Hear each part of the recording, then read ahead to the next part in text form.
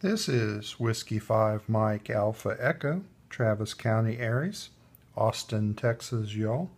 In this video, we'll install a solder male N-type connector onto LMR 400 Ultraflex.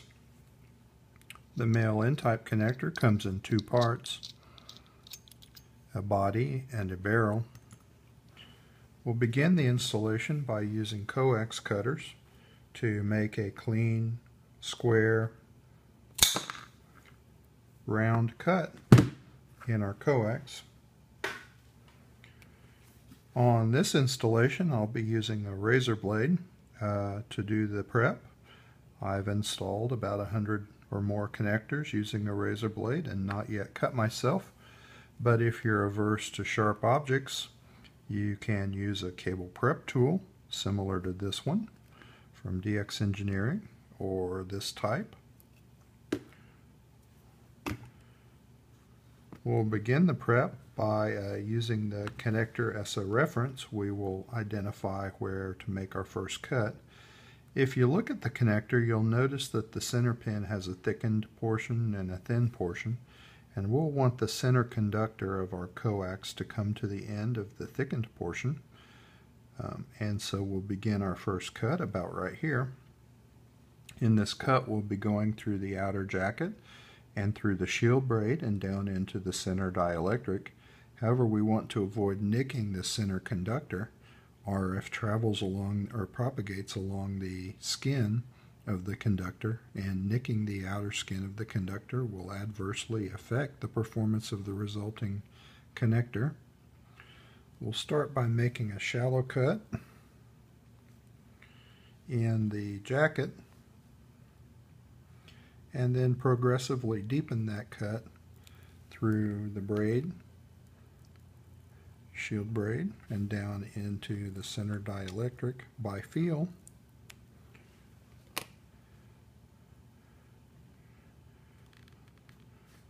We'll remove the uh, the jacket, which is a PVC type material, and the shield braid, which is nice and tightly woven in LMR 400. And LMR 400 also includes a foil, uh, an additional foil shield over the dielectric. And we'll remove that in the dielectric by putting our thumbnail into the cut and giving it a sharp clockwise twist with respect to the cut end of the connector, or the uh, coax and then we can continue to rotate and pull to remove the dielectric from the center conductor. This is foamed polyethylene which has a relatively low melting point. Again using the connector as a reference we'll locate our second cut which uh, should be about right here and we're going to just remove the jacket in this cut to um, expose the shield braid. And here I'm making a very shallow cut in the jacket, not even all the way through, a scoring cut really. And then a transverse cut along the along the jacket with the going a little deeper toward the end. This can be used, this transverse cut can be used to remove long sections of jacket which would otherwise be difficult to pull off. And then we'll peel back from the transverse cut to remove the jacket. The next step is to use braid trimmers to trim back the, the braid away from the dielectric. Uh, we do this to avoid a common fault in connector assembly where the shield braid comes unbraided and um, some of the conductors get into the dielectric area and, and may cause a fault during assembly, a short, or may even cause one at a later date. Trimming back the shield braid helps avoid that. We'll want to trim any, any stray wires, uh, conductors, make sure that the dielectric area is free of any conductive material. The next step, uh, we'll uh, solder tack the braid and we'll um, wet our soldering iron to prepare it for soldering and clean it. Oxides develop on a hot soldering iron and if those get into the working joint uh, it will prevent the solder from sticking.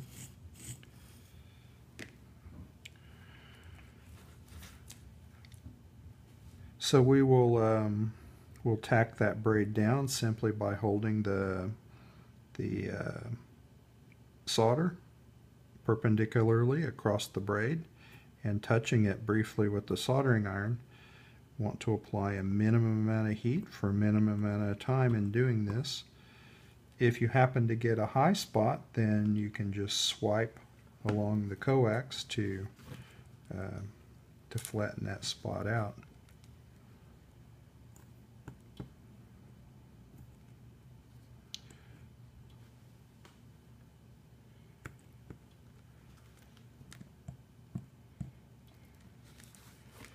You don't want to apply much uh, much solder at all, just enough to adhere to um, that shield braid all the way around.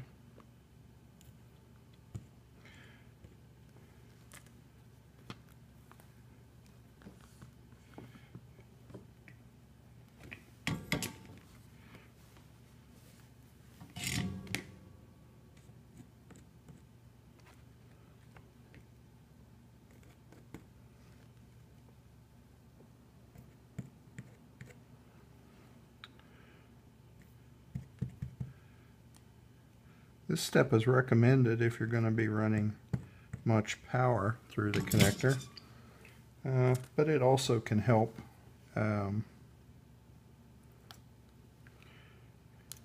the connector re re retain its structural strength throughout its lifetime.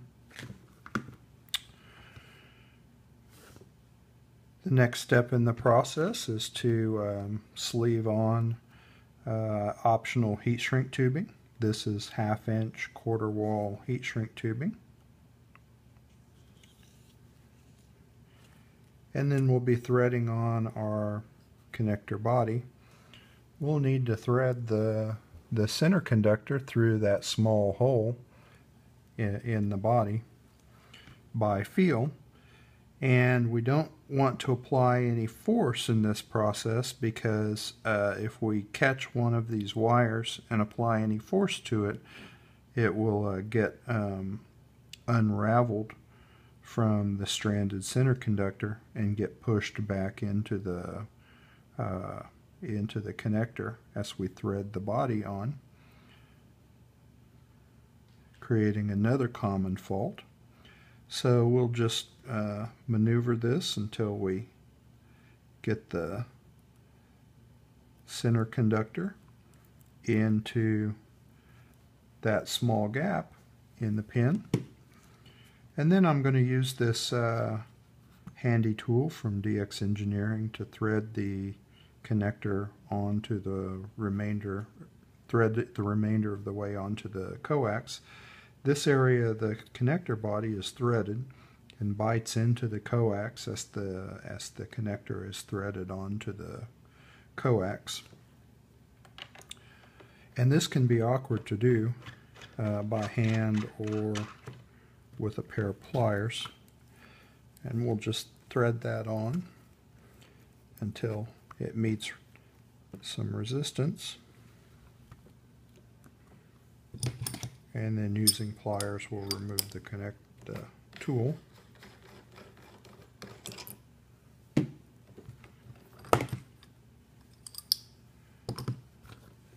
Looking at the connector we can see some shield braid in this hole and braid in this hole and we also see the center conductor in this small hole in the tip.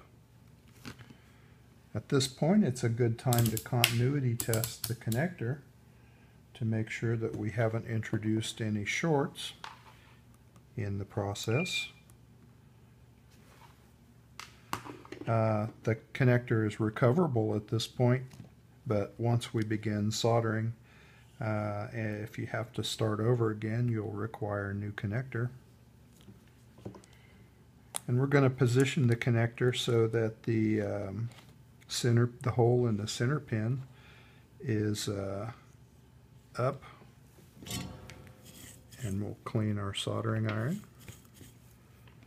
And stretch out a, a length of solder. Applying the soldering iron to the hole, we'll hold it here for about 8 seconds to heat up the, the uh, center pin. We don't want to apply any more heat for any more eh, uh, any more time than necessary to avoid melting the uh, uh, center insulator holding the pin into the body.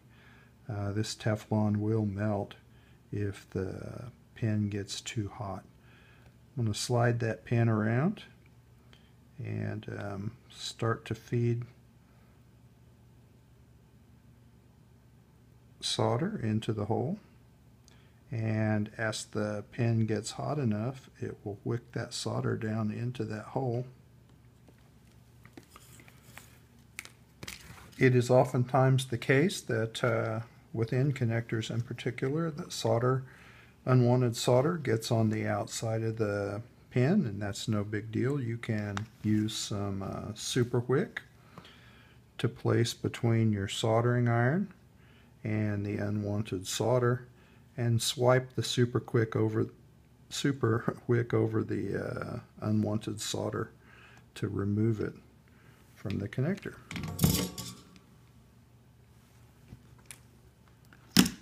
We'll continuity test this again to make sure that our soldering process did not introduce a short. And then we'll proceed to solder the two holes. cleaning our soldering iron after each operation. Going to hold the soldering iron across the hole, not down into the hole. Uh, the objective here is to heat the body of the connector, not the, not the coax beneath it. Recall that the center dielectric material is uh, has a low melting temperature and if you hold heat or apply too much heat to this connector you'll melt that material and damage the uh, damage the connector and have to start over again. So here we're going to hold it across the hole for about um, 8 to 10 seconds.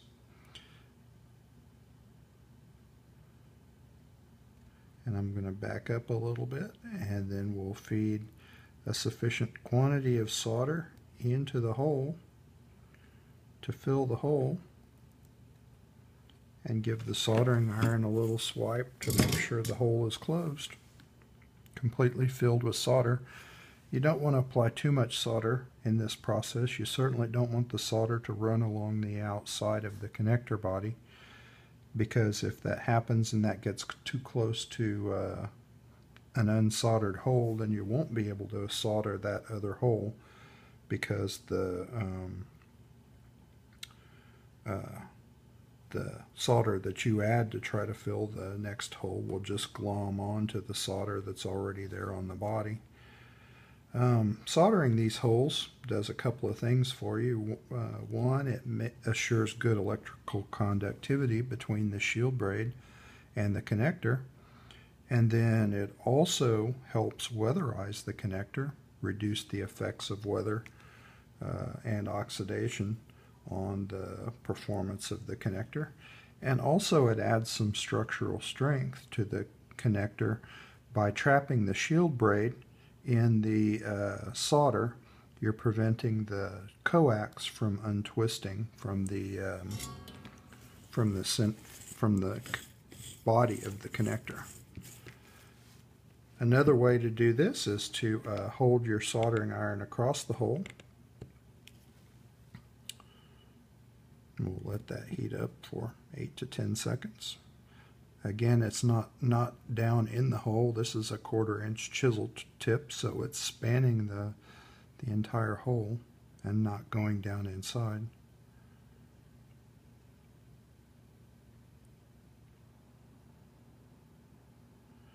And then we'll feed a sufficient quantity of solder in the hole to fill it and give our soldering iron a little swipe.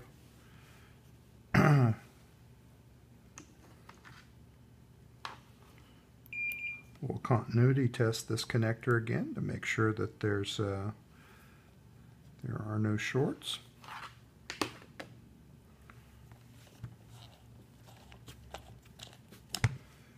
The next step is to uh, slide your heat shrink tubing onto the connector.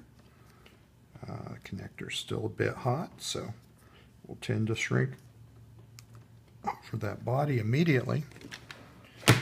Then we'll use a heat shrink gun or a air, hot air gun to finish heat shrinking that tubing.